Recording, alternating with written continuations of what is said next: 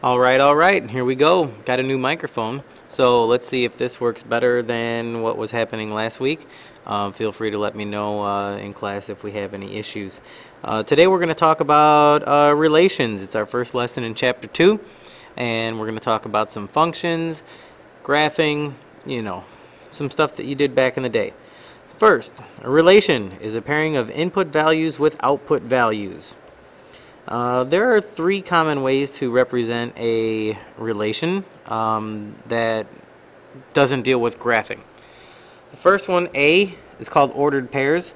What you can do is you just look through and obviously you know the first number in each set of parentheses is your x value and the second one is your y value.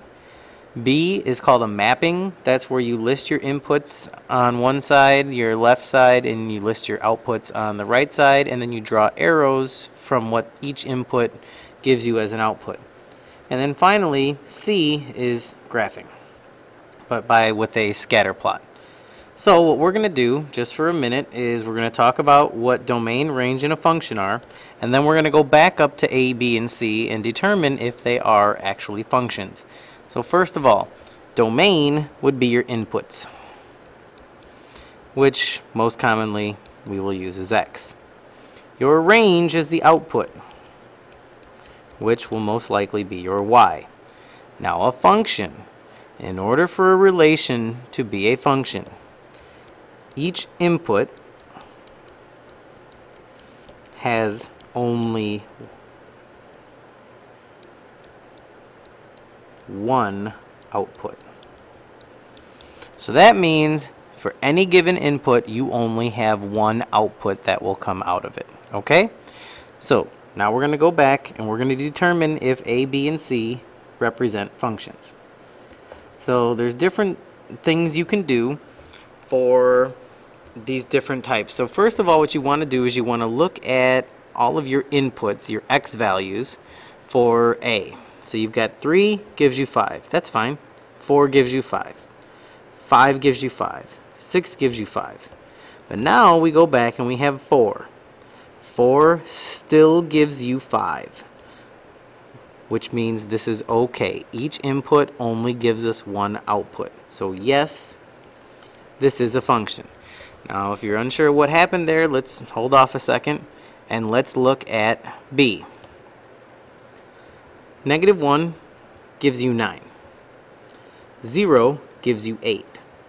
1 gives you 7. And it gives you 10. So if we look at this as an ordered pair, we have negative 1 gives you 9. We have 0 gives you 8. And then we have 1 which is going to sometimes give us 7 and sometimes 1 is going to give us 10. That just broke the rule of a function. A function will give you one output for every input. Only one output per input. One cannot give you 7 one time and then say, hey, you know what, today I feel like giving you 10. So this is not a function. Okay? And then the last thing we're going to do is look at a graph. Is this graph representing a function? That means does each input, which would be our x, give us only one output. So it looks okay for 15 year olds. And maybe 15 and a half is, oh wait, check it out, 16. There are two 16 year olds with different heights. 16 year old that has 68 inches and another one that has 74 inches. So is this a function? No, it is not because two in, or one input gave you two different outputs. Okay, so that is um, how you tell if something is a function based on um, a little scatter plot, mapping, or ordered pairs. Next thing we're going to do is determine if a relation is a function based on its graph. Now this might ring a bell. It is called the vertical line test. Okay, it's the vertical line test. There's two steps. First, draw vertical lines left to right. Draw vertical lines left to right. Or right to left for that matter. It doesn't matter. Then, each line you draw must only touch the graph one time.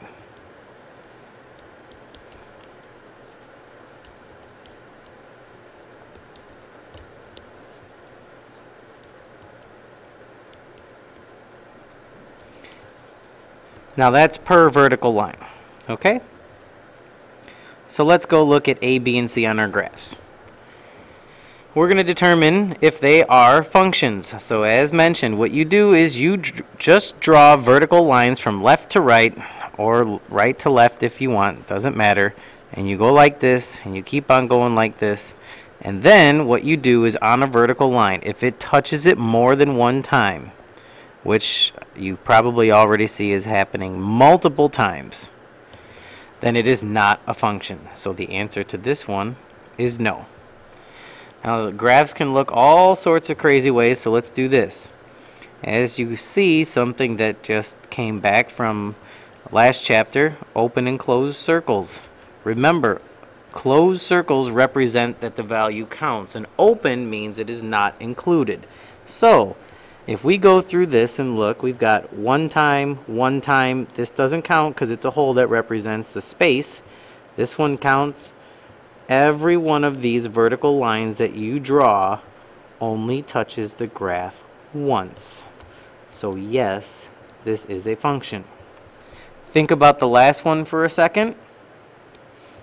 Draw some vertical lines. One time, one time, one time, one time. Yes, it is a function because none of your vertical lines will touch it more than once. Okay? Moving along. One type of function is a linear function which may be written as the form y equals mx plus b. Old school stuff. It's slope-intercept form. Your dependent. The dependent variable will be your y, which is your output, also known as your range. Your independent is x which is your input, also known as your domain. Okay, so function notation basically gets rid of the y. Instead of y equals something with an x, this says a function of x is equal to 7x minus 9. What we're going to do is we're going to find f of 255. That means that x is 255. What is the function's value? Okay, so the only thing we're going to do is this. All we have to do is say f of 55 or 255 is equal to 7. x is now 255 minus 9. Order of operations will tell you that the answer is 7 times 255 minus 9, which means the function of 255 is equal to 1776 okay it's just it's the exact same thing as y equals 7x minus 9 except for we're replacing a y with an f of x which is function notation. Okay? So we're going to make a t-table and graph y equals 3x plus 1 yes I understand that you can probably graph that using y equals mx plus b starting at 1 using your slope of 3 and graphing. However we're going to pretend that you forgot how to do that. We're going to make a t-table. When we make t-tables to graph, a lot of times what I say is pick 0 and then pick two positive numbers and two negative numbers. So we're just going to go with negative 2, negative 1, 1, and 2 just for fun. If it's better to do something like a negative 3 and a negative 6 and a 3 and a 6 based on, you know, whatever information you have, go for it. So what we want to do here is we want to evaluate. So what you would have to do for each one of these individually would be 3 times a negative 2 plus 1. That'll tell you this function, so f of negative 2 is equal to a negative 5. I understand you can do the rest of these in your head. So what is the function's value when x is equal to negative 1? You would substitute it in 3 times a negative 1 plus 1 is going to tell you that the answer to this is a negative 2. Continue with 0. 3 times 0 plus 1 is 1. And then 3 times 1 plus 1 is 4. And 3 times 2 plus 1 is 7. And then what you would do is you would just graph each one of these points individually. negative 2 comma negative 5, negative 1 comma negative 2, 0 comma 1, which is your y-intercept, 1 comma 4, and 2 comma 7. As you can see, they increase by 3 as you go from left to right every time, known as your slope, which is rise of 3 over a run of 1. Okay, that's how you graph with a t-table.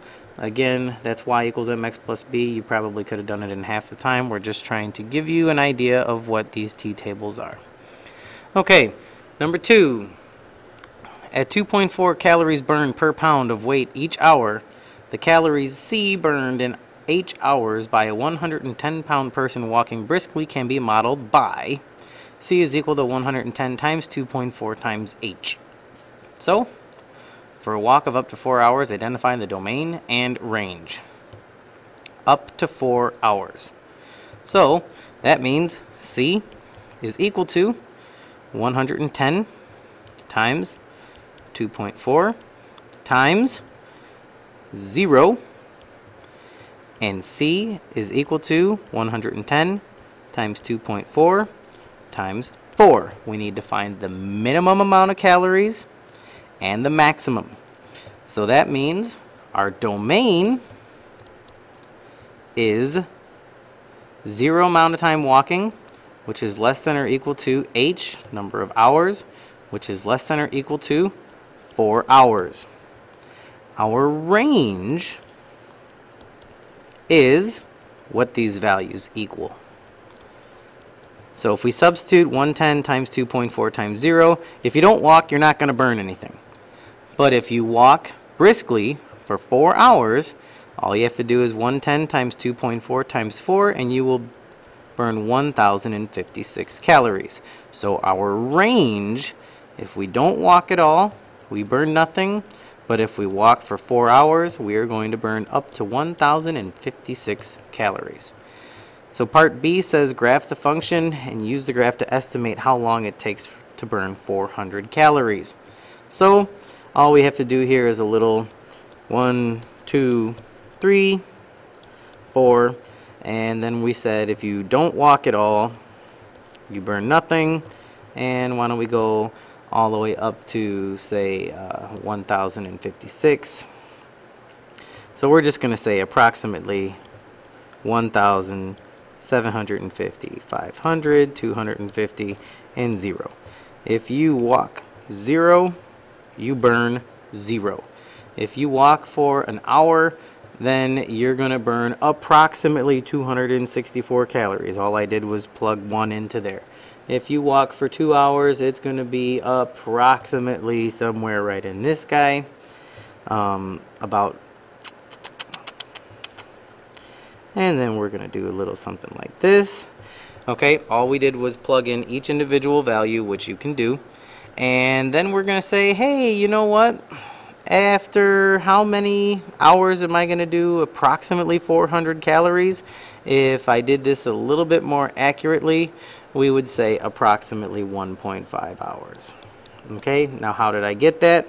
Well again let's go back here and let's actually plug in the values.